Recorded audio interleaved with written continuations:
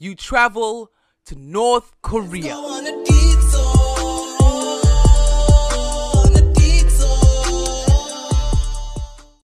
You travel on a guided tour in the country of North Korea. There in the capital, you hear the tour guide speaking to an African woman, and she responds in fluent Korean. After speaking to her for a while, she agrees to sit down and talk over a coffee.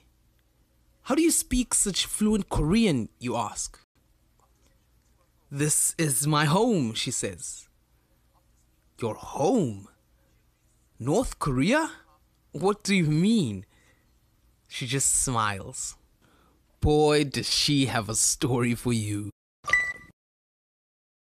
It's a dark day in Equatorial Guinea, September 1979. The former president, Francisco Macias, overthrown by his own nephew, is sentenced to death and is killed by firing squad.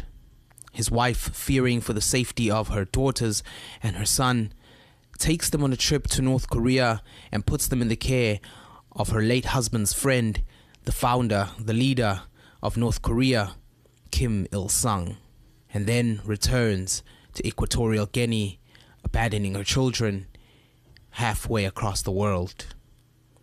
In the following decades, Kim would keep the promise he made to Francisco Macias that if anything happened to him, he would look after his children.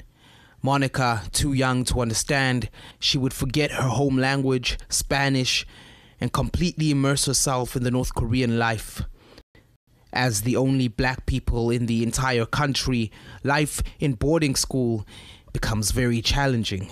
It helps that their de facto grandfather, Kim Il sung, calls them regularly to check up on them and offers help whenever he can. From there on, Monica's life will be filled with identity issues, intense learning, rediscovery of the outside world, and a long journey to understand who her father was and why he had to die.